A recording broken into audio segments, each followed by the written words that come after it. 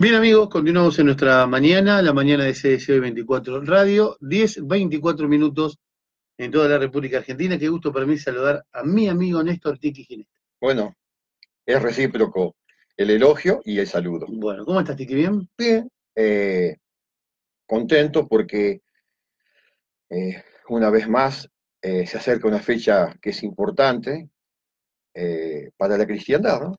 y estamos trabajando ya, preparando todo, y me refiero a lo que es la novena San Cayetano. Y bueno, eh, siempre eh, uno trata de, hacer lo que Dios quiere que se haga, ¿no es cierto? Eh, si sale imperfecto, la culpa es de uno, y si sale 10 puntos, bueno, es porque Dios está ahí presente y, nos acompaña, ¿no? Así que, y bueno, faltan 48 horas para la novena, y digo, qué mejor que ir a la radio y el canal para que esto trascienda, ¿no? Claro. Porque si uno no lo hace, este, no es que uno es imprescindible, ¿no? Pero uno está ya para eso, Dios, así, Dios cuando vos viniste al mundo ya te dio un talento, ¿me entendés? A otro le dio otro y a otro otro, en fin. Pero todo confluye en algo que eh, es para tu felicidad, como recién te dije anteriormente, y también eh, en el caso de uno, para mayor gloria de Dios. Eso es cierto lo que decís, Tiki. Hay veces que uno, la gente dice, eh, no sabe cambiar, no sé, una lamparita, o no sabe hacer esto. Y uno le dice, sí, pero vos no sabés hacer lo que yo sé hacer. Entonces, cada uno en lo suyo. Cada uno en lo suyo, ¿no es cierto? Eh, yo te digo una cosa, eh, hace muchos años, te doy mi palabra, Juan Carlos, nunca hice un asado. Jamás. No, nunca, no fue mi especialidad o la virtud de, saber cocinar. Yo miro por televisión los programas de, cocina y este, cierto, siento cierta envidia, digo, ¿cómo hacen todo? Y Pero ¿qué es lo que pasa? Los que están ahí en, ese programa, este, si uno le dice, bueno, mira, hay que preparar una novena, la procesión y la misa, este, bueno, se encoge de hombro, porque no, no está. Pero si cada uno vino a cumplir con algo, ahí estoy mirando a, a Ramón Díaz, ¿no? Y bueno, él ya vino con un talento, el talento de saber jugar al fútbol, saber dirigir un equipo. Y bueno, este, lo que tiene de bueno es que eh, él conoce e-, ese, ese ambiente y bueno, pone todo lo de sí, todo lo de uno. Tiki, ¿la novena ya cumple 30 años? 30 años, exactamente. Y me acuerdo que el padre Mergazo, eh, cuando, eh, cuando empezamos con esto, llamó al santuario de Liniers y vino un sacerdote para acompañarnos en una procesión. Éramos poquito, pero eran los primeros pasos que estábamos dando, ¿no es cierto? Pasos agigantados de Dios y pasos y por miga como nosotros.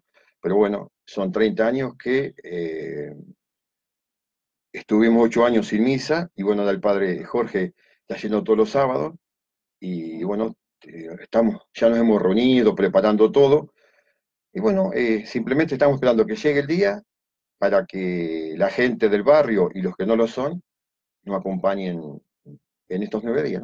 ¿Cuándo va a comenzar? ¿Cuándo será la Bueno, gracias. Faltan 48 horas. Pasado mañana. Y que tenemos preparado para el domingo 29, que es la fiesta de Santa Marta. Así que aquellas que son que tienen ese nombre y están mirando y escuchando, que Dios les bendiga. Em, va a venir una hermana de Buenos Aires, una hermana religiosa, em, Cristina se llama.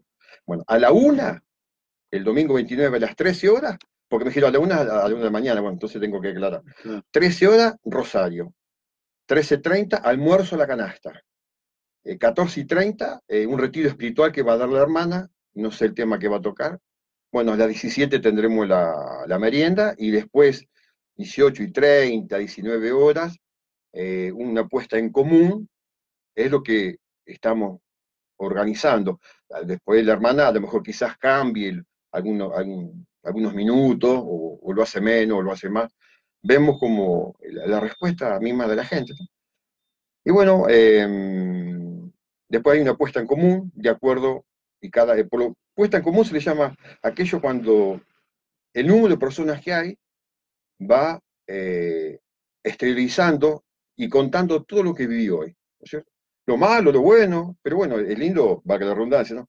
es lindo ponerlo en la mesa para que aquellas cosas que, por ejemplo, uno dice y no cayó bien, el momento de pedir disculpas.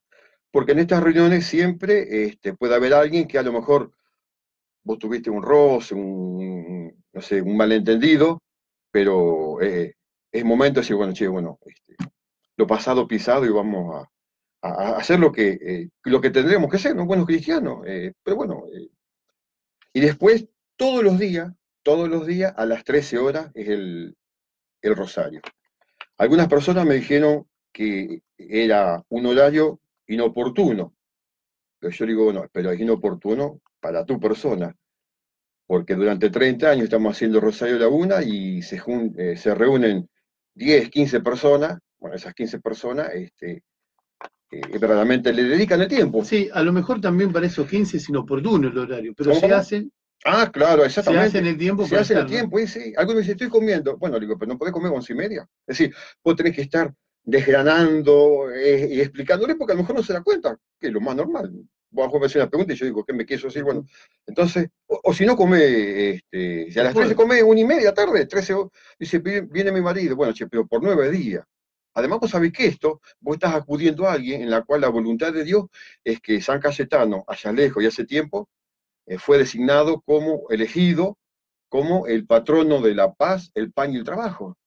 Y vos ponete, y fíjate, vos, eh, yo miro los, informativos y, te da pena que oficinas, empresas, 300 empleados, 120 cierran negocios. Eh, estaba viendo que Rosario, 80, en la, en la, avenida 80 negocios cerraron. Y vos fíjate, acá en Sarmiento este, hay una empresa que está dándole trabajo a cientos y cientos de personas. Es decir, Sarmiento está como exento de las dificultades, de los problemas que existen en otros lados.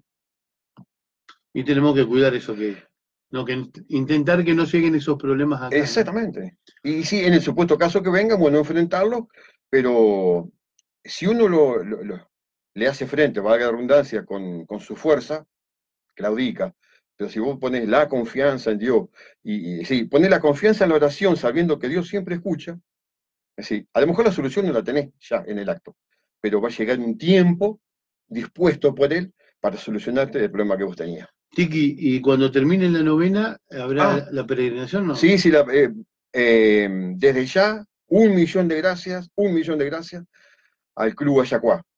Em, como siempre. Como siempre, exactamente. 18.30 saldríamos el 7, 18 y 30 la procesión hasta el Club Ayacuá. Y ahí tendríamos la misa con el, Padre Jorge. Y como siempre, la recomendación, llevar el pan para la, bendición de, ese alimento que lamentablemente hay otras personas que hoy ven cómo brilla en, las mesas de la, de la familia. Así que bueno, eh, hay algo, hay algo positivo, es decir, el contacto con la gente te transmite esa gana de, no, de no bajar los brazos, ¿no? Eh, es un lugar bendecido, bendito, fíjate que a un costado, bueno, ahora desapareció porque alguien le rompió la imagen de nuestra señorita a ti, en la otra punta hay una imagen de Jesús misericordioso.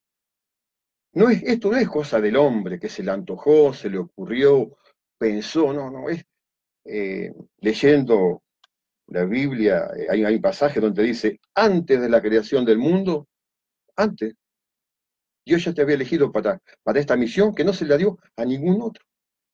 Y uno a veces dice, este, con, sus debilidades, las flaquezas, los tropiezos, a veces eh, claudicás, ¿no es cierto?, con la fe. Mira, en la, semana había tenido un inconveniente y bueno, estaba hablando con Dios, ¿no? Y algo enojado, algo enojado.